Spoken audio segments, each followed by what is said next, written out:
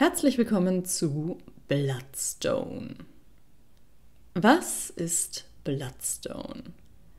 Bloodstone ist ein Indie-Rollenspiel von Matteo Schuteri, das sich ganz ungeniert am pseudo-viktorianischen Horror-Setting des Computerspiels Bloodborne bedient und explizit auf One-Shots ausgelegt ist.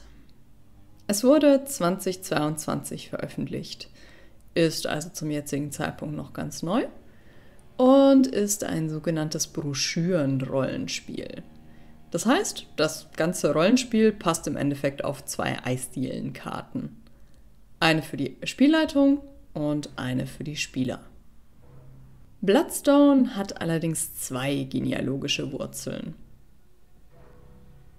Es ist zum einen Soulsborne, denn es versucht das Flair von Bloodborne einzufangen, also im Grunde genommen einen Medienwechsel zu vollziehen.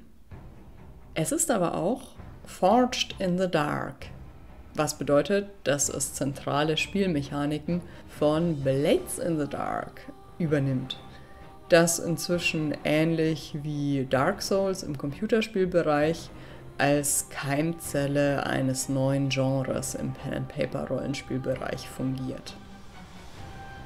Bevor ich aber tiefer in das Thema der Spielmechanik einsteige, übersetze ich euch erstmal grob einen Abschnitt aus dem Playbook, damit ihr einen Eindruck bekommt, worum es bei Bloodstone überhaupt geht und was man als Spieler da überhaupt so tut. Ihr seid Jäger.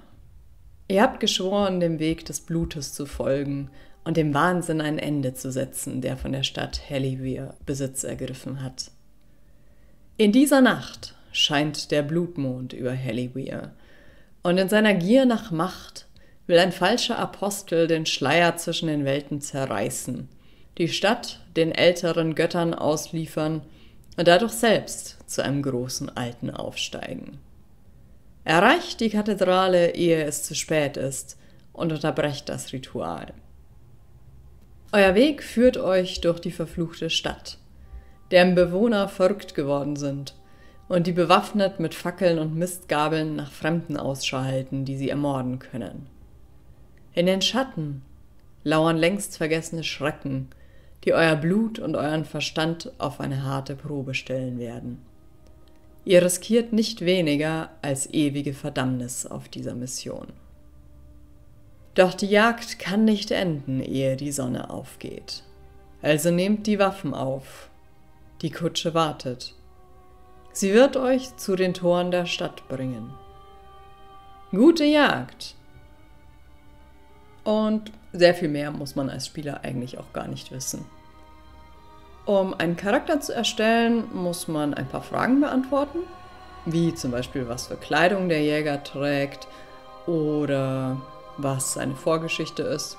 Man kann sich einfach eine aussuchen. Und daraus ergibt sich dann die Verteilung der Attribute und ein paar Sonderfertigkeiten. Klassen gibt es keine. Ein Jäger ist ein Jäger, aber sie sind trotzdem alle ein wenig individualisiert. Zum Beispiel durch die Wahl der persönlichen Waffe etc. Attribute gibt es nur drei, was vermutlich einem One-Shot-System angemessen ist. Und zwar Prowess, Resolve und Wit.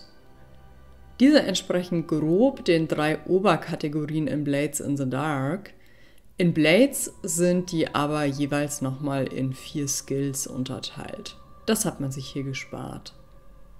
Was Bloodstone aber vor allem von Blades in the Dark übernimmt, ist die Würfelmechanik. Und zwar 1 bis 3 auf einem W6 sind ein Misserfolg. 4 und 5 ist ein Erfolg, aber mit negativen Konsequenzen. Also zum Beispiel, dass der Gegner gleichzeitig auch Erfolg hat. Nur die 6 ist ein ungetrübter Erfolg. Wenn mehrere Würfel geworfen werden, gilt jeweils das beste Ergebnis. Mehrere Sechsen sind ein kritischer Erfolg. Die Anzahl der Würfel hängt vom betroffenen Attribut ab. Außerdem gibt es verschiedene Möglichkeiten, an Bonuswürfel zu kommen, zum Beispiel wenn einer der Mitspielercharaktere einen unterstützt. Außerdem wird jeder Würfelwurf modifiziert, in dem die Spielleitung Position und Effekt bestimmt. Die Position kann kontrolliert, riskant oder verzweifelt sein. Und je schlechter die Position ist, desto verheerender sind die Konsequenzen bei einem Misserfolg. Der Effekt der Aktion kann vermindert sein, wenn man zum Beispiel gegen einen übermächtigen Gegner kämpft, normal oder erhöht, wenn man irgendwelche Vorteile hat. Hier spielen auch verschiedene Sonderfertigkeiten und die Ausrüstung der Jäger mit hinein. Soweit, so Blades in the Dark. Allerdings wird die Stressmechanik, die wirklich zentral für Blades ist, in Bloodstone durch eine Stamina-Mechanik ersetzt. Wer kein Stamina, also keine Ausdauer mehr hat, kann quasi nichts mehr tun, was uns bei unserer Testrunde einige Probleme verursacht hat, aber dazu gegen Ende mehr. Außer Stamina gibt es noch eine Lebensleiste, Blood, von der man sich auch selber was abziehen kann, um besondere Effekte zu erzielen, und Insight, die man durch das Erkunden der Stadt gewinnen kann. Insight kann man ausgeben, um der SL Fragen über die Situation zu stellen, oder man sammelt sie und wenn man genug zusammenbekommt, kann man einmal am Abend aufleveln. Dazu benutzen die Jäger den titelgebenden Bloodstone, wovon jeder einen hat, und teleportieren sich in die Werkstatt, quasi die sichere Basis des Jägerordens, während ihr Körper als Steinstatue zurückbleibt. Damit hatten wir in der Testrunde auch jede Menge Spaß. Und äh, diese Werkstatt ist gewissermaßen der äh, Hunter's Dream aus Bloodborne. Nur ohne die Puppe, falls die jemand vermissen sollte. Neben Blood, Stamina und Insight müssen die Spielercharaktere auch noch mit ihrer Munition haushalten, denn sie haben auch Schusswaffen. Der Umgang mit diesen Schusswaffen ist jetzt nicht total intuitiv, denn Schusswaffen sind hier nicht dazu da, um jemanden zu töten, sondern werden zum Parieren und zum Stunnen benutzt. Also genau wie in Bloodborne. Aber wer das Computerspiel nicht gespielt hat, wird das vermutlich eher seltsam finden. Zum Töten sind die Nahkampfwaffen da, die man auch wie im Computerspiel auseinanderklappen kann und in dieser modifizierten Form dann einen verbesserten Effekt bekommen. Man sollte vielleicht dazu sagen, dass Bloodstone vom Genre her Action-Horror ist. Also erwartet zwar groteske Gegner und skurrile NSCs, aber vielleicht eher nicht, dass ihr euch zu Tode fürchtet. Die wichtigste Frage ist jetzt natürlich, funktioniert das System? Also macht es das, was es soll? Aber um ehrlich zu sein, ich bin mir nach einer Runde noch nicht 100% sicher. Also, erst einmal finde ich es gut, ein Forged in the Dark für One-Shots zu haben.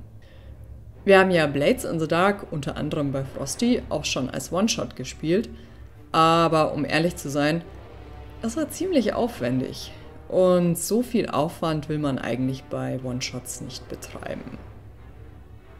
Dem versucht Bloodstone entgegenzutreten, indem es alle wichtigen Infos auf zwei DIN A4 Seiten packt. Die Spielleitung weiß also wirklich nicht sehr viel mehr als ein Spieler, der sein Playbook aufmerksam gelesen hat. Die Eckpunkte der Mechanik sind auch auf beiden Bögen gleich. Auf dem SL-Bogen kommen vor allem noch Infos zur Generierung der Stadt, dem Ablauf des Abends und dem Einsatz von Clocks hinzu. Also, Aufgabe der Spielleitung ist es erstmal, sich drei bis vier Locations in der Stadt zu überlegen und wie die miteinander in räumlicher Beziehung stehen. Die letzte Location ist immer die Kathedrale.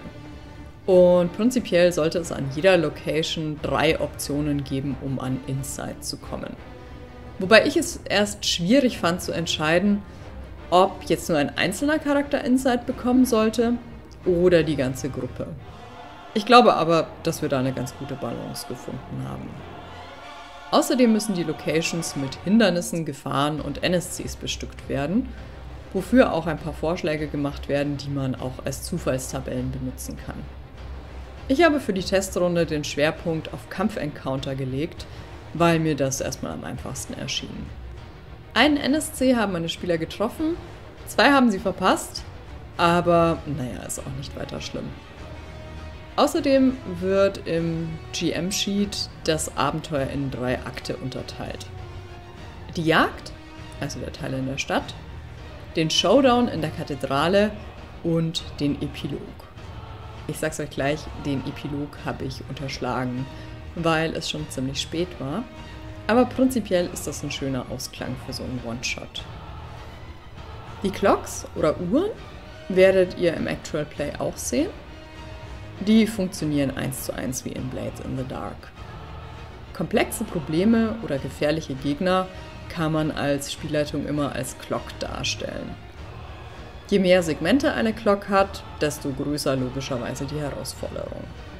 Und ein Erfolg füllt je nach Effektlevel 1, 2 oder 3 Segmente. Außerdem gibt es noch eine ganz besondere Clock, nämlich die achtseitige Night Clock, die mit jeder neuen Location weitertickt. Außerdem kann sie auch als ernste Konsequenz weiterticken, zum Beispiel als Alternative zum Tod eines Spielercharakters. Wenn diese Clock allerdings voll ist, hatte das Ritual des Apostels Erfolg und die allerletzte Chance der Jäger ist es, den Apostel in seiner transformierten Form zu bekämpfen und zu besiegen, was natürlich eher unwahrscheinlich ist. Also wenn die Night Clock im Lauf des Abends voll werden sollte, dann sieht es ziemlich duster aus für die Spielercharaktere. Ja, soviel zur SL-Seite. Ein komplettes Rollenspiel auf zwei bzw. vier DIN A4 Seiten zu packen, ist natürlich eine ziemliche Herausforderung, weil man wenig zusätzlich erklären kann. Es ist einfach kein Platz und das ist jetzt nicht wie in anderen Rollenspielen, wo man einfach nochmal in einem anderen Buch nachschlägt und dann ist man schlauer. Sondern was da steht, steht da und damit muss man arbeiten. Wir sind darüber bei Bloodstone bei der Stamina-Mechanik gestolpert, denn wir haben uns an den exakten Wortlaut gehalten obwohl mir das von Anfang an komisch vorkam. Und das hat dann dazu geführt, dass Leute kein Stamina mehr hatten und damit effektiv aus dem Spiel genommen wurden. Mittlerweile konnte ich allerdings den Autor erreichen und der hat uns freundlicherweise aufgeklärt. Der Jäger bekommt immer sein Stamina zurück, nachdem die Konsequenzen abgehandelt wurden. Egal wie diese Konsequenzen ausfallen oder ob es überhaupt Konsequenzen gab. Das macht die Spielercharaktere natürlich noch stärker, macht aber auch sehr viel mehr Sinn als die wortwörtliche Auslegung. Die Charaktere sind insgesamt stärker als Blades Charaktere ab Start, weil sie deutlich mehr Würfel zur Verfügung haben. Das hat man bei uns vor allem an Terras Charakter gesehen, der sehr geradlinig alle Kampfvorteile mitgenommen hat. Ich denke, da hilft es, wenn man die Herausforderungen etwas breiter aufstellt, als ich das für diesen Versuch getan habe. Ich denke, ich würde beim nächsten Mal auch mehr auf die geistige Stabilität gehen, um das Resolve-Attribut etwas mehr einzubinden, denn das kam bei uns nur bei NSC-Interaktion vor und ich glaube, dieses Attribut kann noch mehr. Aber selbst wenn man bei dem Kampfschwerpunkt bleibt, dann denke ich, muss man sich einfach nur bewusst machen, dass die Spielercharaktere schon ein bisschen was aushalten. Sie haben zwar eine kurze Lebensleiste, aber auch ziemlich viele Möglichkeiten, wie sie dem Tod doch noch irgendwie von der Schippe springen können. Alles in allem fand ich das System für einen Abend sehr unterhaltsam und möchte es auf jeden Fall noch einmal mit den gewonnenen Erkenntnissen und vor allem auch mit der korrekten Stamina-Mechanik spielen.